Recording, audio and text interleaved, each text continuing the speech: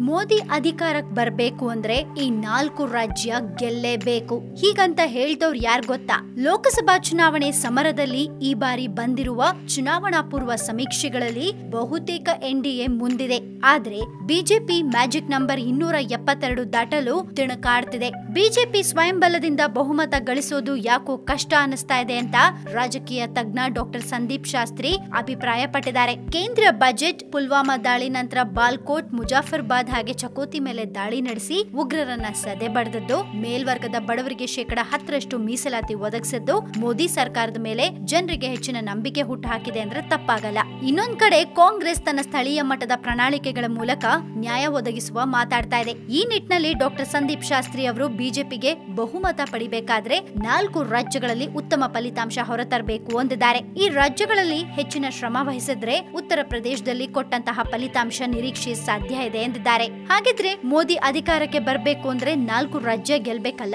ಅದ್ಯಾವ್ದ್ಯಾವ್ದು ನೋಡೋಣ. ಸೊ ಮೋದಿ ಅಧಿಕಾರಕ್ಕೆ ಬರ್ಬೇಕಂದ್ರೆ ಉತ್ತರ ಪ್ರದೇಶದ ಎಂಬತ್ತು ಸ್ಥಾನಗಳು ಕೂಡ ಬಾರಿ ಮುಖ್ಯ ಅನಿಸುತ್ತೆ. ಭಾರತೀಯ ಜನತಾ ಪಕ್ಷ ಈ ಬಾರಿ ಅಧಿಕಾರದಲ್ಲಿದೆ. ಆದ್ರೆ ಉಪಚುನಾವಣೆಗಳಲ್ಲಿ ಬಿಜೆಪಿ ವಿರುದ್ಧ ಮೈತ್ರಿ ಮಾಡಿಕೊಂಡಿರೋ ಎಸ್ಪಿ, ಬಿಎಸ್ಪಿ ಉತ್ತಮ ಪ್ರದರ್ಶನವನ್ನ ಕೊಟ್ಟಿದೆ. ಹೀಗಾಗಿ ಕಳೆದ ಬಾರಿ ಎಪ್ಪತ್ಮೂರು ಸ್ಥಾನ ಗಳಿಸಿದ್ದ ಬಿಜೆಪಿ ಈ ಬಾರಿ ಐವತ್ತು ಪ್ಲಸ್ ಸ್ಥಾನಕ್ಕೆ ಸೀಮಿತವಾಗಬೇಕಿದೆ. ಉತ್ತರ ಪ್ರದೇಶ ಗೆದ್ರೆ ಭಾರತ ಗೆದ್ದಂತೆ ಅನ್ನೋ ಒಂದು ಅಘೋಷಿತ ವಾಕ್ಯಕ್ಕೆ ಬೆಲೆ ಸಿಗುತ್ತಾ ಕದ್ ನೋಡ್ಬೇಕು. ಇನ್ನು ಕರ್ನಾಟಕದಲ್ಲಿ ಅತಿ ಹೆಚ್ಚು ಲೋಕಸಭಾ ಸ್ಥಾನಗಳು ಇಲ್ಲದೆ ಇದ್ರು ದಕ್ಷಿಣದಲ್ಲಿ ಬಿಜೆಪಿ ತನ್ನ ಅಸ್ತ್ವವನ್ನ ಉಳಿಸಿ ಬೆಳೆಸಲು ಕರ್ನಾಟಕ ಹೆಬ್ಬಾಗಿಲಾಗಲಿದೆ. ಮಾಜಿ ಮುಖ್ಯಮಂತ್ರಿ ಬಿ ಎಸ್ ಯಡಿಯೂರಪ್ಪನವರು ಇತ್ತೀಚೆಗೆ ಹೇಳಿರುವ ಇಪ್ಪತ್ತೆರಡು ಸಂಖ್ಯೆಯನ್ನ ಮುಟ್ಟೋಕೆ ಸಾಧ್ಯವಾಗದೇ ಇದ್ರು ಬಿಜೆಪಿ ಹದಿನಾರು ಸ್ಥಾನಗಳನ್ನ ಗೆಲ್ಲೋ ಸಾಧ್ಯತೆ ಕಂಡು ಬರ್ತಾ ಇದೆ. ಎರಡ್ ಸಾವಿರದ ಹದಿನಾಲ್ಕರಲ್ಲಿ ಬಿಜೆಪಿ ಹದಿನೇಳು, ಎರಡ್ ಸಾವಿರದ ಒಂಬತ್ತರಲ್ಲಿ ಹತ್ತೊಂಬತ್ತು ಸ್ಥಾನಗಳನ್ನ ಗಳಿಸಿತ್ತು. ಇನ್ನು ರಾಜಸ್ಥಾನ. ಕರ್ನಾಟಕದಂತೆ ರಾಜಸ್ಥಾನ ಕೂಡ ಹೆಚ್ಚಿನ ಲೋಕಸಭಾ ಕ್ಷೇತ್ರಗಳನ್ನ ಹೊಂದಿಲ್ಲದೆ ಇದ್ರೂ ಬಿಜೆಪಿಯ ಪ್ರತಿಷ್ಠೆಯ ಕಣ. ಕಳೆದ ವಿಧಾನಸಭಾ ಚುನಾವಣೆಯಲ್ಲಿನ ಸೋಲಿನ ಸೇಡು ತೀರಿಸ್ಕೋಬೇಕಿದೆ. ಹಾಗೆ ಮೋದಿ ಅಲೆ ಇದೆ ಅನ್ನೋದನ್ನ ಸಾಬೀತುಪಡಿಸೋಕೆ ಬಿಜೆಪಿ ಮುಂದಾಗಿದೆ.